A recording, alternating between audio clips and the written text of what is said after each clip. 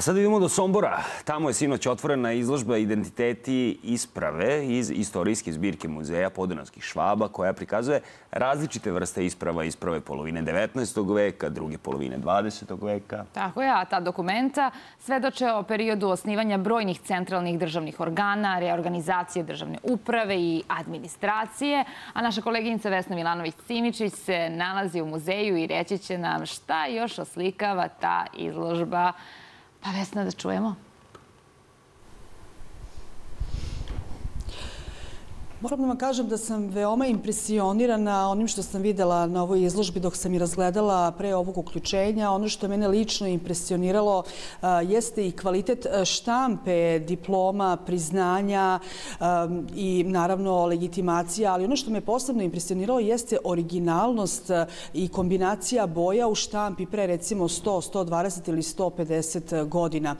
Sa mnom je ovog jutra Miroslava Ćačić, autor ove izložbe koja će nam reći, evo ja sam ispomenula neke moje utiske, šta je ono što gledalci, odnosno posetioci koji dođu ovde mogu da vide, budući da je sinoć otvorena izložba i koliko vam je bilo teško da sve ovo prikupite? Ovde zaista vidimo originalne dokumente. Na izložbi u katalogu je prikazan bogat istorijski materijal koji se čuva u zbirkama muzeja Podunavski švaba. Izložba uključuje povelje, zanatske isprave, školske isprave, lične isprave, putne isprave, članske legitimacije.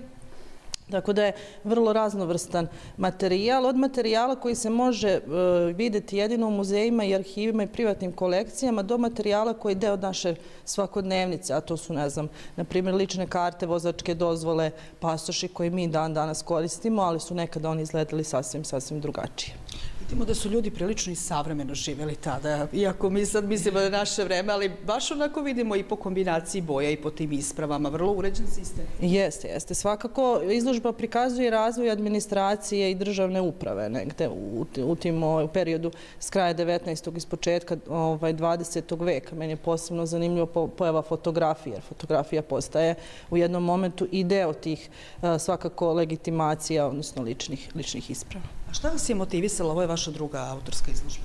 E, pa, kada smo prikupili materijal za, za stalnu postavku Muzeja Podunavske švaba, mi smo taj jedan deo materijala dobili od humanitarnog udruženja Nemaca Gerhard, jer su oni još od 99. godine prikupljali, pa je taj materijal stigao kod nas. Onda jedan deo materijala je prikupljen od naših sugrađana poklonom i tu se u okviru, naše u okviru istorijske zbirke se, su se izdvojile svakako isprave, jer smo imali ovaj, e, raznovrstan materijal. Sad ono što nismo uspeli da, da prikupimo tokom tokom istraživanja i tokom rada ustupio nam je istorijski arhiv Sombor, tako da smo sa njima ostvarili izvarednu, izvarednu saradnju.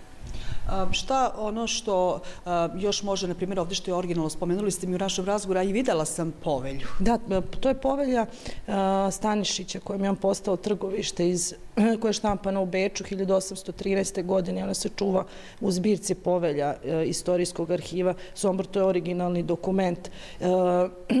Što se tiče samih povelja, povelje su izdavane prvenstveno pojedincima odnosno njihovim porodicama za vernu službu ovaj, od strane od stare vladara, ali su izdavane takođe i e, gradovima kojima su oni postali slobodni kraljevski gradovi, poput, ne znam, Sombora, poput Novog Sada, ali su izdavane i mestima, znači gde su oni uzizani u rang e, trgovišta, odnosno, odnosno vašarišta. Jer vašari su tada bili negde mesto okupljanja stanovništva, odnosno e, predstavljali su napredak tog zanatskog i trgovačkog sloja društva u, u okviru jednog mesta. Tako da za to mesto to bilo izuzetno značajno da da to postane.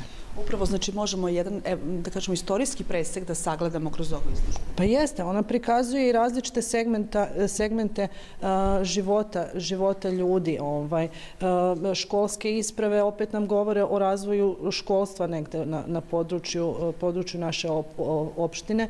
Zanatske isprave su meni posebno interesantne. Tu su prikazane vandrovke koje se opet vezuju za, e, e, za to kako se nekada od, e, od šegrta postajao majstor. Vezane su, znači, vandrovka predstavlja putnu, putnu ispravu koju je Kalfa dobijao, dobijao nakon polaganja kalfenskog ispita, a onda je morao u naredne tri godine da vandruje, da ide u različite delove carstva kako bi stekao zanje kod različitih majstora i tek se tad posle toga vraćao svom tom prvom majstoru kod koga učio zanat imao pravo da položi taj majstorski ispit.